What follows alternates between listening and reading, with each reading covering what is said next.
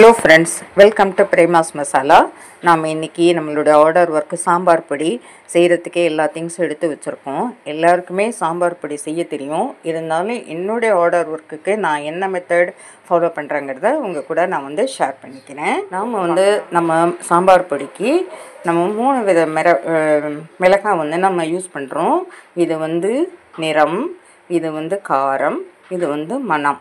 ஓகேவா? அப்புறம் வந்து இந்த கடுகு இந்த சால்ட்டு இந்த வந்து நம்ம மஞ்சள் இது மூணு இதோட ப்ரிசர்வேட்டிவ் அது மாதிரி சுக்கு அப்புறம் நமக்கு இந்த பெருங்காயம் இதெல்லாம் வந்து நம்மளுடைய உடம்பு ஆரோக்கியம் டைஜஷனுக்காக நான் அதில் ஆட் பண்ணியிருக்கேன் ப்ளஸ் நம்ம வந்து இந்த இரும்பு கடாயில் தான் நம்ம எல்லா திங்ஸையும் நம்ம ஃப்ரை பண்ணி நல்லா வந்து மிளகாவை காய வச்சு அது நல்லா உடையிற அளவுக்கு நம்ம வந்து இதை காயணும்.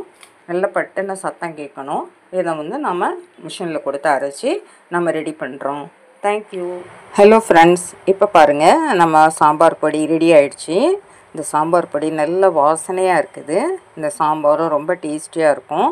உங்களுக்கு யாருக்காவது தேவைப்பட்டால் எங்களை காண்டாக்ட் பண்ணுங்கள் நாங்கள் நல்ல சுத்தமான முறையில் உங்களுக்கு செஞ்சு தருவோம்.